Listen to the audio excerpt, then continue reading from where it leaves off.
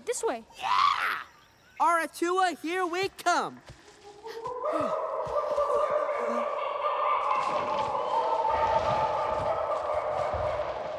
What was that? Uh, Saiwa's coming after us! Coming after us? He's coming after us!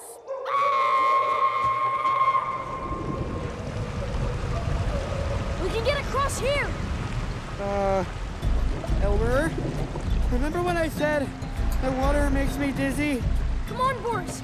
I don't want to get eaten by anyone with pokey claws or pokey teeth.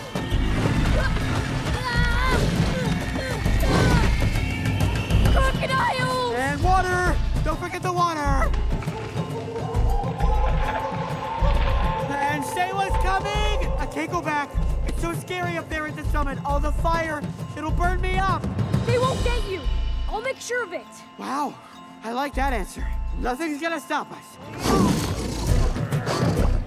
Except maybe him.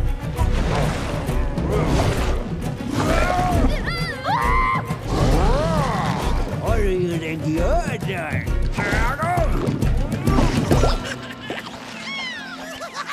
Douglas, Winifred, you get back here right now.